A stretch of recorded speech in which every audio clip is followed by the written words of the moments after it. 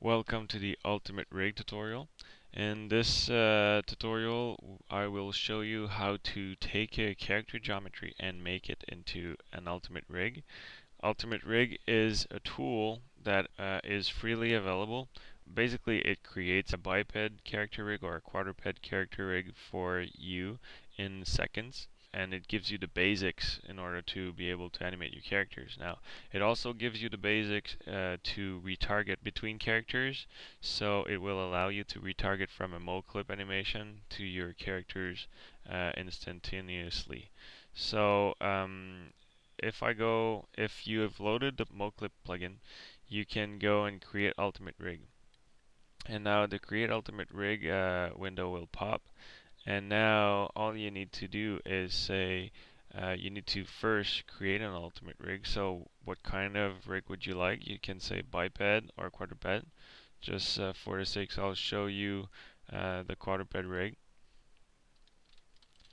So this is the basic uh, quadruped rig that you can use to put onto your geometry. Could be a dog, a horse, uh, an elephant, whatever.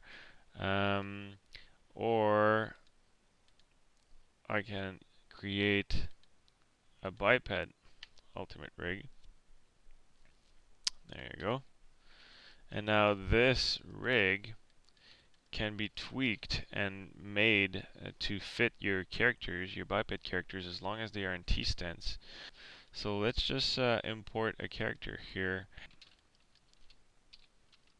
My Ian character here. So this is my guy, and now yes, it, it pretty much fits, but it, you can see that there are some some places that it doesn't quite fit. So what you do is uh, to manipulate the ultimate rig. Like right now, the ultimate rig is not processed, so uh, you can still move things around. Um, and you should always concentrate on moving everything on the left side of the body, and the rest will uh, will follow. And here in the options you have this all the symmetrical edits. You can turn that off if your character is not symmetrical. Um, but you can you can also change the shape of the blue geometry. So right now I'm gonna just take my my character and add it add him to a layer and make him referenced so I don't pick him by accident. And then all I have to do is to place um, the different part, body part in there and I can actually scale you can use whatever mean you want. Um, basically what you're looking for is to put the joint pivot at the proper position in the body. So right now let's say I'm gonna take this guy I'm gonna bring him down that's the shoulder that's the um, actually it's the clavicle. I'm gonna bring that guy a little bit up then I'm, I do not need to bother about the other side of the body right now uh, because it's always symmetrical. So I can just bring in bring the scale this down. And right now I'll go I'll go quite fast just uh, for the sake of this tutorial. But uh, yeah you can you understand the principle that you can move things around. Now what you can do also is uh, to change the shape of these um, of these manipulators. So right now I'm going to fit the head with the mouth and the nose, and I'm going I can bring down the eyes. I can actually fit the geometry here. Um, so I'll just do it roughly for now. And whenever you want to change the shape of a of a body part, you just need to press uh, down and left. Uh, so this will select the, the shape and then you can go in component mode and just uh, change um, change this, the shape of your geometry. Now for the middle the middle body parts um, um, the symmetrical edits uh, is enabled like this but if you want to you to do it on an arm for instance well then it's a special setup that makes the other side also uh, being modified at the same time so you can tweak your character like that. And now let's go back into object mode and I'm gonna gonna place the legs correctly.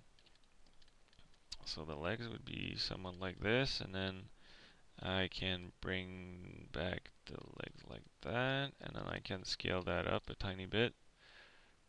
Alright just to fit the ankle. And then I can take that and bring it like this. Alright, obviously I can scale everything up as I need it. And then we'll go down and left and I'll select these guys and I'll scale them up. Now the better you fit the blue guy to your geometry, the better the skinning will be uh, will be automatically uh, transferred from the blue character onto your own character. Now that this is done, make sure your characters are uh, well placed on the ground, uh, facing the Z uh, positive axis and in perfect T-stance. Now, perfect T-stance is quite important. If your character has this arm down or something, now the retargeting might not work as you expect it to be. So try to be as much as in T-stance as you can. So now, all you have to do is to select your um, select your geometry that you want to bind. Now, if you have multiple geometry object, you can pick them all and anything that is in this selection will be smooth bound. So all you have to do is check the processing options. So if you want a prefix, you can put it, change left, right. Um, if you want to smooth skin the selected geometry, yes. And then do you want to create an ultimate rig, which to allow you to animate using the ultimate rig. And do you want to keep the manipulator geometry and the, all the blue pieces will become manipulators?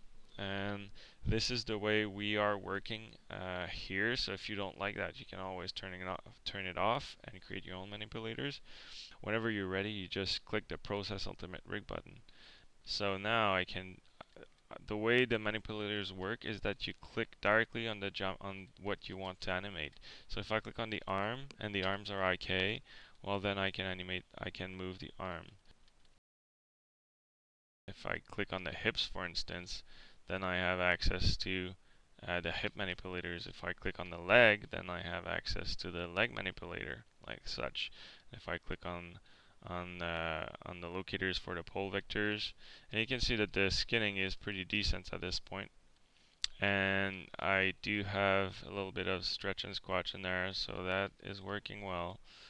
And see, that is working as I expect it to be and if you want to animate the shoulder you just click on the shoulder so now that that's great okay where if you want that to be automatic it, you can do so.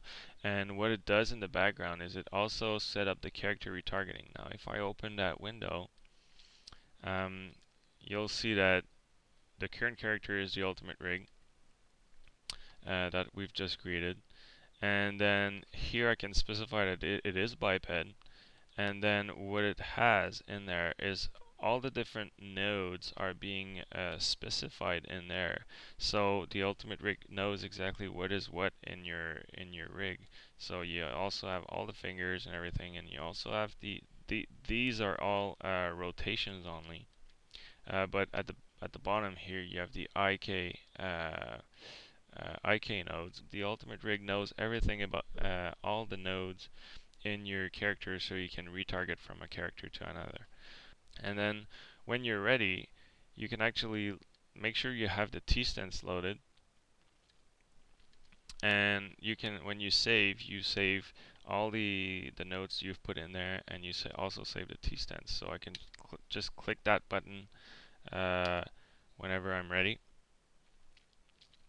And then it's going to just update itself.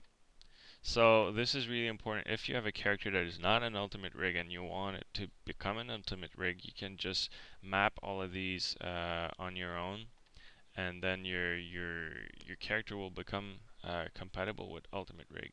If you uh, need any more help, you can go into uh, the the online help, and in there you simply need to go to the ultimate rig manual and then you have uh, all the uh, answers about how to uh, work uh, with the ultimate rig for your characters or or make your characters into ultimate rigs. If you need any more help, you can also go to the discussion forum and in there you can uh, type in your questions and ask for uh, the community to answer. So thank you for watching this uh, tutorial. Hopefully you'll have a good time uh, using MoClip and the Ultimate Rig tool.